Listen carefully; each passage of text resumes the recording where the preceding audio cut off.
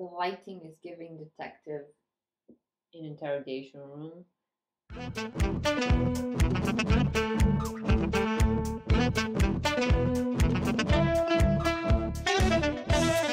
Welcome to Books Around the World.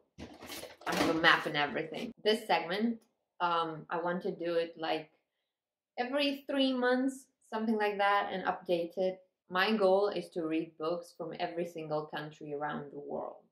Now, this may take a while, and I don't have necessarily like a um, set time by which I want to finish. I just know when I started. Um, I started last year in like Ju- July, June, um, something like that, and I got a map as well. Ta-da! It's a, a, world map, and as you can see, I scratch um, the countries from which I already read. Um, there's quite a few in Europe, but I don't know if you can see them. But this is my map. See how cute? So the goal is to fill the entire map, and by fill I mean to scratch off every single country. I do have to mention that for Antarctica, there are no books written by natives, at least not anything that I could find. So in order to scratch off that one, I don't just want to scratch off scratch it off automatically. Uh, in order to scratch off that part, I will um, I'll just look for a book that either has Antarctica in the title or for which um, the book focuses about Antarctica. I hope that makes sense. So, uh, but in rest, I plan on reading a book from an author from each country, like I've said before. However, for the US, since it's such a large country, and my map is a political one so it's divided by states as well so i can see the states in the us i plan on um, reading a book from an author from each state so that feels a bit more fair um, since it's again such a large country and there's so many different cultures within it. I just i don't know. I feel like this makes the whole reading thing and the map thing just a little bit more exciting because just scratching off US from the map is a lot. Also, I do understand that a lot of the books, like the majority of the books that are on the market, are from authors that are from a English speaking country. So, like either US, um, Great Britain, or Australia, even though Australia is like less so, um, and Canada. Let's not forget Canada. Um, but I don't know. I I, I really want to read from everywhere around the world. So that's how I'm going to do it. Also, this video is um, inspired by Emmie Reads. I'll link her um, channel in the description um, since I really found her videos really fun and I wanted to do the same thing. So, yeah, let's get started. Since June last year, I've read from 11 different countries um, it might be more, but so far I've only been um, just counting books. Like if I've already read from a country, I didn't count it again because I know from Japan and South Korea I've read multiple books, uh, but I didn't count them. So starting this year, I will count those as well. It's just that on the map and in my notebook, I will only mark the first book from the first uh, from that country that I read but I will keep track of the others as well since I don't I don't just want to read from a country and then give up on it. I want to read multiple things from one country. So um, yeah, I'll keep track of it from now on. So since June, like I said, I've read 11 uh, from 11 countries and from the US I read from 9 states. So let's get started with the actual countries. These are my books from the 11 different countries. Uh, I will start in chronological order, and I'm I will mention like the rating I gave each book, but I will not get too much into detail. I started with Japan. It was Before Your Memory Fades by uh, Toshikazu Kawaguchi. Fantastic book. I gave it a five stars. It was just so beautiful. Then I read again from Asia. I went to South Korea and I read Kim Ji Young, born 1982, by Cho Nam-Joo. This is it. Again, five star, fantastic book. My um, um, reading around the world just started on a perfect um, just on a perfect height, I guess. So this was um, South Korea. Then everything went south. Um, this is Ireland. This is Dublin Palms by Hugo Hamilton, and I will admit that I bought this um, just because of the cover. I got this from a second-hand bookstore that also sold new books that maybe were just like leftovers from I don't know bigger bookstores. Uh, but this book, it took me such a long time to read, and I gave this book where was it? Uh, I gave this book a 1.75. I rarely, rarely give books under two stars, like even two stars. I don't really do that. But this one, it was so bad. Like the cover, beautiful. Look at this blue, gorgeous. But the actual book, oh my god, it was so bad. I feel like it was the narrative, it felt both pretentious and like he didn't say anything in the end. Um, it just describes his life in Dublin with his partner and two children, but it's not really, I don't know, besides the fact that it wasn't interesting, at least for me, it just felt, I don't know, pretentious. That's all I got from this book, that it felt pretentious. And I read every single word from it. I don't skim books, and this one, I wish I would have. This, oh, so bad. Do not recommend. Just if it wasn't so pretty, god damn it. But this was Ireland. Um, and then I went to what is this? Then I went to United Kingdom. Again, from now on, I will I will not consider United Kingdom again because it is one of the predominantly published things. Like people publish more things in English, and that makes sense. But um, next, I went to the United Kingdom, and for that, I read Robinson Crusoe by Daniel Defoe.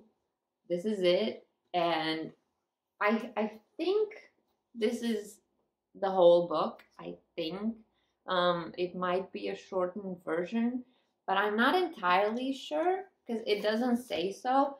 And also, these pages are like humongous. Look at this. Like reading a page from this is like reading two normal pages. So I do feel like this might be the entire book. Um, the art in the book that I have is really pretty, like the drawings and everything but I gave this book, let me see, I gave it a 3.75. It was really nice in the beginning and I really enjoyed it. But then again, this was written a really, really long time ago. But at one point, he gets like, um, he gets like a slave and just his behavior towards him and at the end when they are when they escape from the island because it's the story of someone who drifted on an island, uh, like an abandoned island, and lived there for multiple years. And in the end, he does escape with a slave. Spoiler alert, but again, it's Robinson Crusoe. It's been published like an eternity ago, so I feel like I'm allowed to say like spoilers. Um, but anyway, in the end, they escape, and just his behavior towards the slave and everything is just the ending made this book less great than the beginning, if that makes sense. So um, this was United Kingdom, and then I went to India with How to Kidnap the Rich by Rahul Raina. Um, this one here, again, five stars. I've talked about this book before. It's fantastic. Uh, one of my favorites from 2023. Um, it was just so well written, and the narrative is fantastic. I do recommend. Then I went to South Africa with uh, Amanda Craig, who wrote The Other Side of You. This is a um, short story, it's a quick read. Um, again, it didn't make sense for like the first half of the book, but then you you kind of get what is happening. Um, it wasn't fantastic. I gave it a 3.5, um, which is a good score, but I didn't like it that much. It was just, it was fine. I guess. It, it wasn't that impressive. Then I went to Estonia. This is Jelly Berries by Heljo Mand. I am definitely butchering the name and I'm so sorry. Um, this one here. And this is basically a children's book, as you can see. Like, and children, I mean like toddler level children. Um, but this was it, and the art is really pretty. Uh, the um, the short stories are really nice. It's about Mary and her family, um, and just it talks about all the members and some little adventures they get into. It's a really, it's a lovely book. It's a children's book. I don't know what to tell you, but this was Estonian. Then we have Romania with poems by uh, Mihai Eminescu, which is a Romanian poet and writer, uh, one of the most famous ones. Um, it was fine. I mostly read it so I could scratch Romania off the list. It wasn't great. Uh, some of the poems that were chosen to be put here, um, I don't know, I didn't really like them, but others were good. Again, I studied this in school, so um, I don't particularly like the author, which is kind of mean, but when you're forced to study him, they kind of lose their charm, you know. Then we have China. Uh, this is UFO in Her Eyes by Xiaolu Guo. This one here. And I like this book. I gave this book a 3.75 overall it was nice. I feel like it could have been written a little bit better. It um it like talks in files. Uh, there are two or three agents um, from the national security and intelligence agency uh, that just go to a city where there's um, talk about a ufo sighting and they go there they return like three times and it's um it's written through like an interrogation. It's like you hear the case files well here you read the case files and you try to make up like who's telling the truth and what happened. And it's interesting because um like i said they come back like three times. They go once and then they wait i don't know like a year or like a few months and then they go back and so on and you kind of get to see how the people's life progresses. And overall i really love the idea. I love the um it just felt more interactive somehow and i love um mysteries because i felt like this is somehow a mystery. It's not really but it somehow is. Um but i just felt like it's it's lacking a little bit. It could have been better um, I don't know, maybe the writing, developing the characters a little more. Um, but overall, this was nice. This was from China. I really want to read um, more books from China. Like, that is an objective because I feel like Japan and South Korea are so easy for me to both find and enjoy because I don't know, their writing is just close to my heart. But I, I really want to read more from China and other just other countries in Asia. Also, I really want to delve more into like Pakistan, uh, all of those that end in Stan, but also go to like uh, Thailand, Indonesia, all of those. Like, I really want to read more books from that area. Um, yeah, this was China. The last book from my world map from the countries uh, is uh, Light Years by Tammar Stein. Can you see this? It's it's a library book that I bought from secondhand again because this was discarded. And I love this about secondhand books because you see, they have so much personality. And this book I loved. It was nice. I'll talk about it in my January wrap up, but I gave this a 3.75 stars. And this is from Israel, by the way. It is in Israeli American author, but I did consider this Israel because I'm pretty sure the author was born in Israel. So this was Light Years, and this was the last of the uh, countries. Then we go into the US portion. So taking them in order, for the US, I first read from Texas. Again, all of the authors that I'm going to talk about from the US, as well as the whole map, are what I found on Google. So I really tried. There are some books where I have no idea where the author is from. So I just did include them in my map. So I might have read more, but you know, just I don't include them here. Uh, the first one from the US is from Texas with So You Want to Talk About Race by Ijeoma Oluo. At one point, I will Google the authors and how to pronounce their names, but this is Texas. Um, it was a nice book. It talks about race. Um, I expected more from it, but overall, it was fine. It was a nice read. Um, I gave this a 3.75 stars, and yeah, it was nice. It's um, it's good if you want to dabble into ideas of race and talking about race. But again, I expected a little bit more from this. Then we have New Jersey, and we have Are Snakes Necessary by Brian De Palma and Susan Lehman.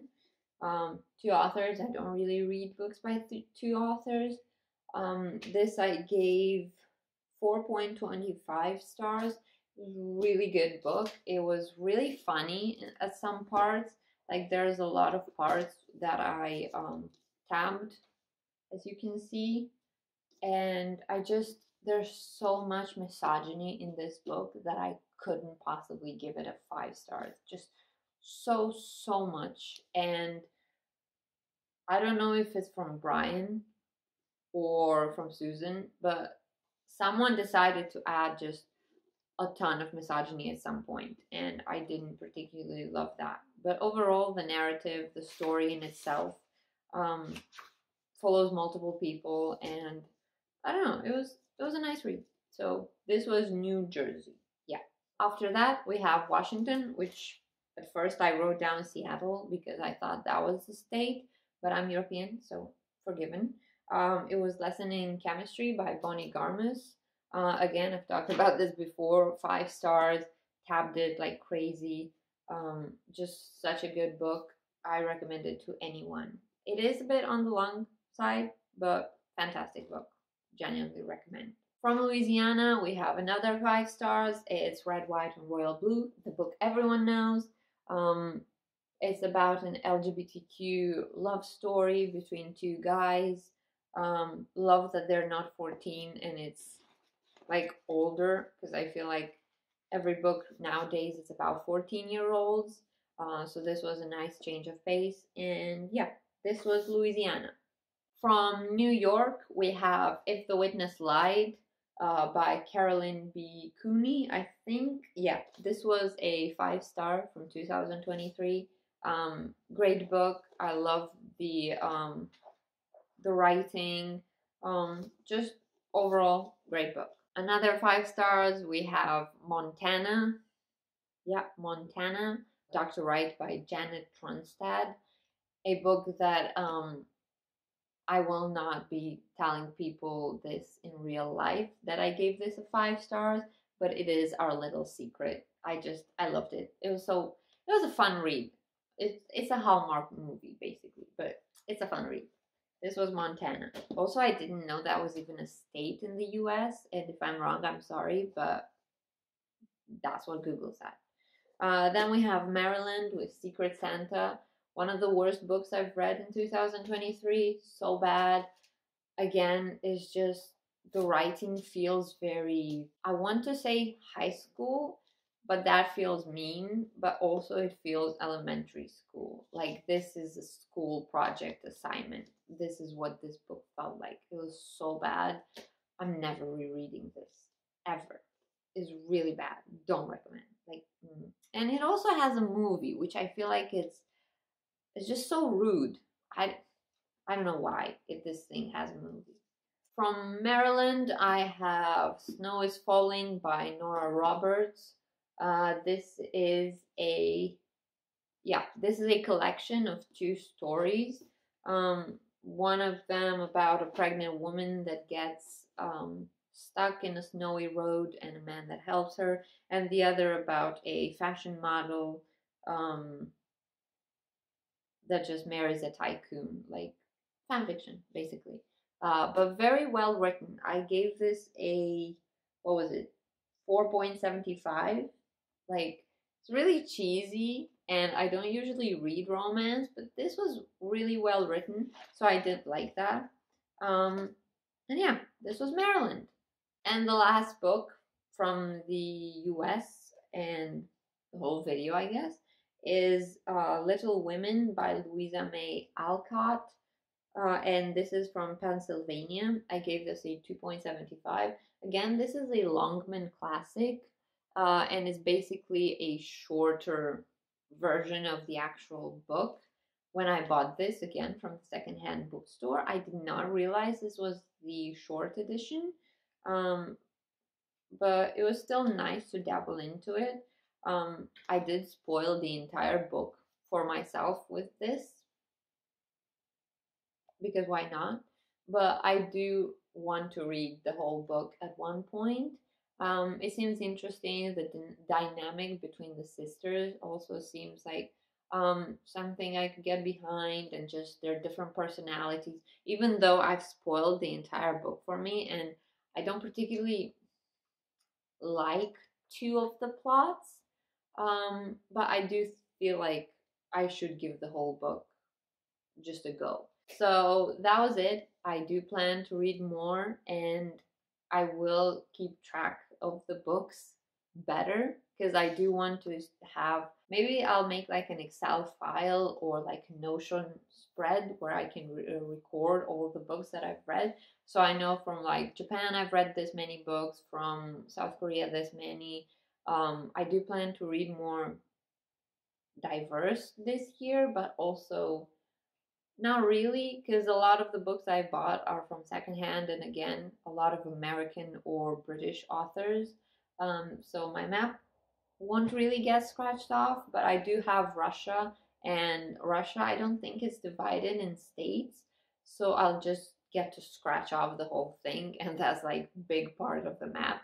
Because when I scratched off China, it was this huge chunk that just became colored.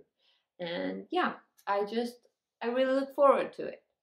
So this was my books around the world. If you have any recommendations of like countries or books or authors that you'd like me to read or look into, please leave them down below. Um, also like and uh, subscribe if you like the video for um, other videos in the future.